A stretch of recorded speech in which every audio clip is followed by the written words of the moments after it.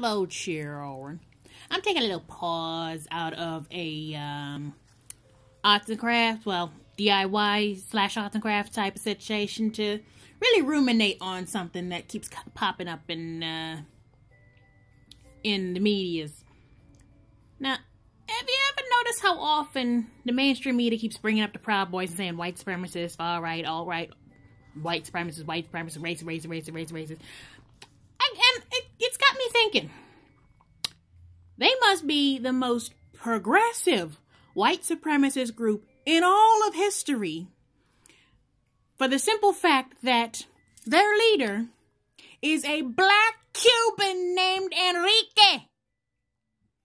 How, how, how, how? How that math? Make that make sense.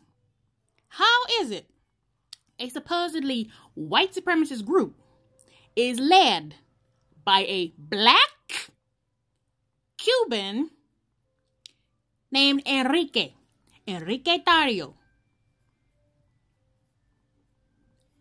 There must be some racist, uh, some progressive white supremacists who don't white supremacy quite right. And the originator of the Proud Boys, yeah, it was a white guy who's married to a American and has Native American children. Progressive white supremacists, ain't they? And a large chunk of the Proud Boys, as majority, minority. So, um, um, where where the white supremacy in there? Last time I checked, the white the Proud Boys was just a boys' club who like to get in fights with people who start shit. But what do I know?